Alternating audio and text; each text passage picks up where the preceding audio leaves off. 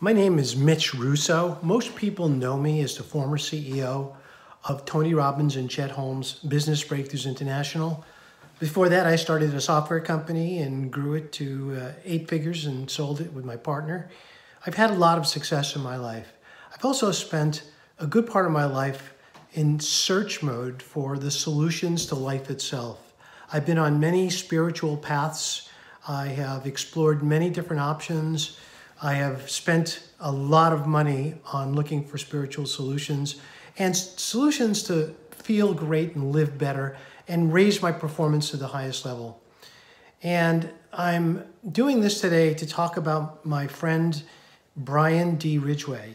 Now, there's things I've worked on for years, maybe longer than years, maybe decades.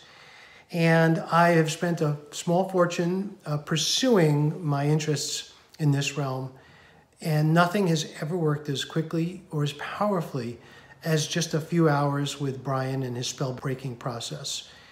If I were to say that it's the most amazing thing ever, I would be telling the truth. It has the ability to change people at a fundamental level, as it has for me.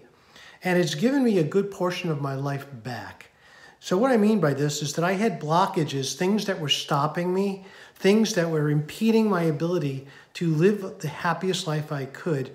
And then when Brian and I worked together, uh, at first we worked over the phone and over, over the internet.